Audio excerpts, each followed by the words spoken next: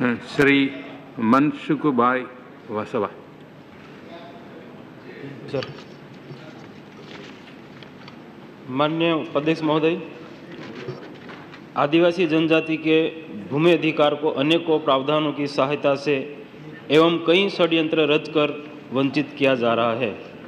2006 में वन अधिकार कानून बना, जिसके आदिवासियों का वन भूमि पर रहने एवं विकास कार्य करने का अधिकार मिला हुआ है। परंतु राष्ट्रीय पार्क अभ्यारण्य फॉरेस्ट एक्ट के कारण इस कानून का पालन समुचित ढंग से नहीं हो पा रहा है।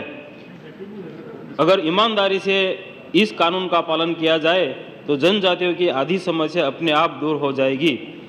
आज जनजातियों के सामूहिक हकदारी, ज़मीन के पट्टों पर अपना कब्जा उनका पशु रखने एवं उनके चराने जैसी जीवन यापन के कार्य नहीं कर पा रहे हैं।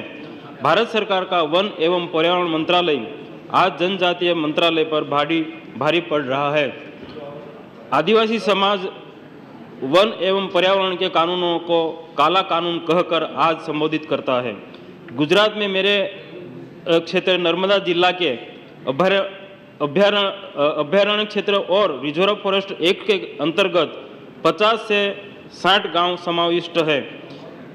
जैसे कि कंजाल, फुलसर, गढ़, बेबार, गढ़ी जंतर वाघउमर कणजी वांद्री, जूनाराज, कमोदिया झरवाणी आंबागाम, सुकवाल जैसे अनेकों गाँव में पक्की सड़कें, पुल, नाले, बिजली, सिंचाई, शुद्ध पीने का पानी, आरोग्य, शिक्षा पर्याप्त मात्रा में नहीं है।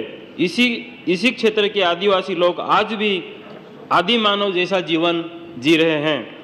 तो सदन के माध्यम से मैं केंद्र सरकार से अनुरोध अनु, अनुरोध है कि वन एवं पर्यावरण के कानूनों को कानूनों को जो जनजाति के विकास में बाधक है उनकी समीक्षा की जाए और अनन्य समाज की तरह आदिवासियों का भी संपूर्ण विकास किया जाए। धन्यवाद।